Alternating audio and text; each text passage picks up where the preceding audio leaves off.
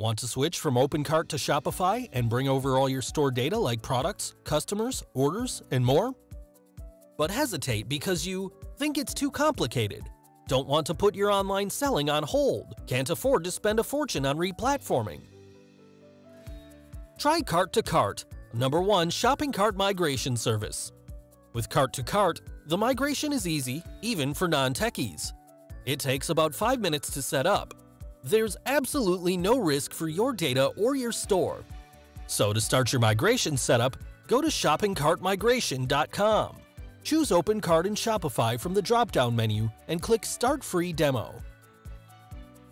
At this point, you'll be asked to log in or create a new Cart-to-Cart account. Then provide the URL of your current OpenCart store. Next, download the connection bridge file, unzip, and upload it to your OpenCart store's root folder using FTP client software. Then, press Check the Connection button. You should get Bridge Installed message.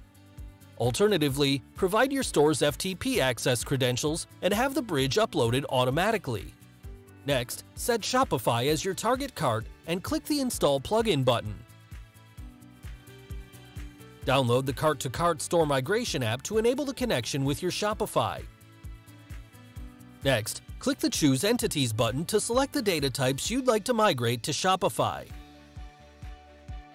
And choose the additional options to refine your migration, like automated 301 redirects to keep SEO juice, preserved order IDs, migration of categories into Shopify automated collections, etc.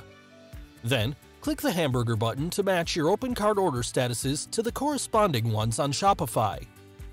After checking the demo results, you're a few clicks away from launching a full migration and moving all of your OpenCart data to the new Shopify store.